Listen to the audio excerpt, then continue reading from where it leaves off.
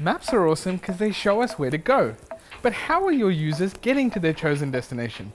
I'm Ankur Kotwal and I'm going to uncover the Maps APIs that can make this an amazing user experience.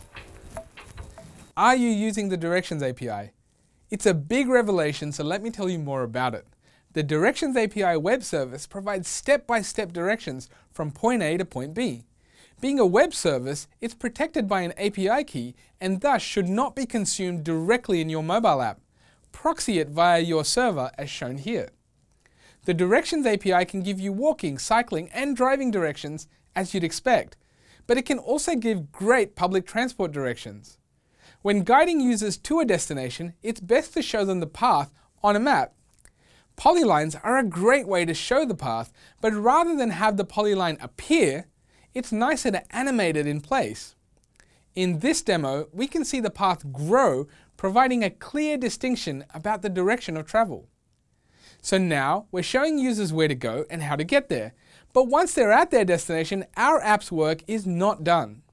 I really wish more apps would show me what my destination looks like, because often it's not obvious which shop I need to get to. In effect, users can be left feeling lost after they get to their destination. Thankfully, there's a Maps API for that. Street View is a great way to visualize the user's destination, or any address really. Adding Street View adds a real-world visual element to your app and provides meaningful context for users. Users will generally expect that they can interact with the Street View since they're likely to pan and scan around the location, so be sure to leave interactivity in place. You can add a Street View panorama into your app by including it in your layout.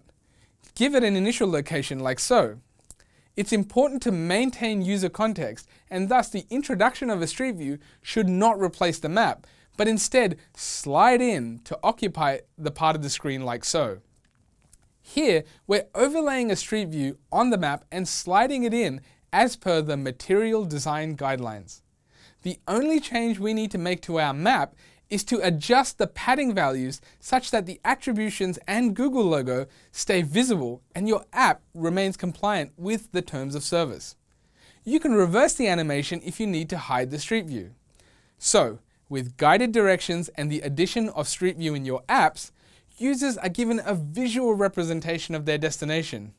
They're no longer lost on their way there, and now they're no longer lost when they get there. To learn more about adding Street View, check out the docs and sample code here. I'm Ankur Kotwal, and I never want to be lost again.